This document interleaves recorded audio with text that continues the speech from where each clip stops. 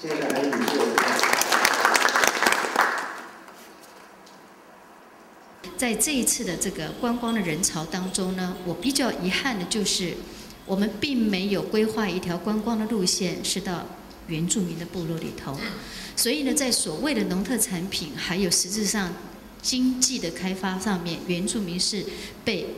摒弃在这次所谓的观光人潮的开放当中。教育的问题是我一直很关心的，原住民。长期以来，台湾原住民长期以来因为经济环境的关系，所以呢，很多的家庭面是非常贫穷的。那么，因为的贫穷呢，而造成教育出了很多的问题。这个部分梁会长也很清楚，因为我们有非常多的孩子，其实呢，也在这个中央民族大学念书，那么也有一些非常优惠的措施。可是自己在我们的岛内哦，我们的孩子们看到中辍非常的多。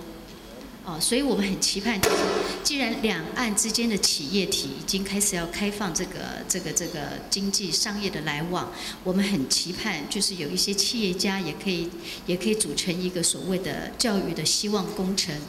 不仅仅对于这个台湾岛内我们这个失学的孩子多一点点的照顾跟支持，那么我们也同样的也希望，就像这一次汶川大地震，我们也知道羌族的孩子也有非常多也失学了，所以呢，呃，我以我自己个人的力量也认养了二十个羌族的孩子，所以我希望未来两岸在少数民族还有原住民族的交流上面，不仅仅只是歌舞文化的交流，实质上我们希望在教育的希望工程里面。也能够做一些呃两岸之间的互动。另外还有另外一个我要谈到的，就是我们所谓的农特产品还有工艺品的交流。那么呃，我们大概有百分之九十是务农的台湾的原住民族，然后有非常多的工艺产品，其实也做得非常的精致，但是呢，在台湾岛内缺乏了一些通路。啊，以至于有非常多的这些工艺品呢是摆在家里的，然后以至于有非常多的这个原住民的妇女呢也没有办法实质上得到呃这个所谓的工艺品的流通，所以我们都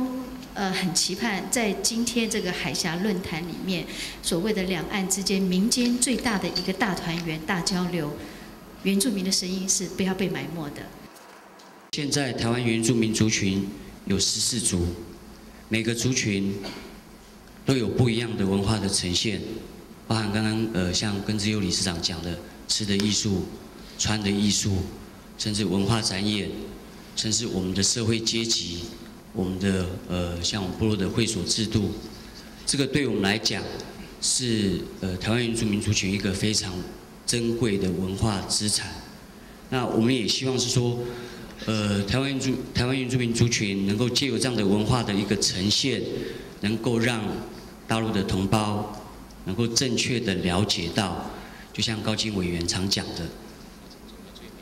你是泰雅族，哦，跟自由理事长你是塞夏族，我是北南族，我们绝对不是高山族，我们绝对不是高山族。那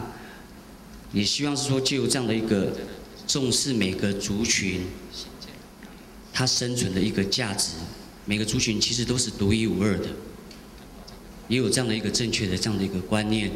我相信两岸少数民族的事业发展才会有一个好的开始。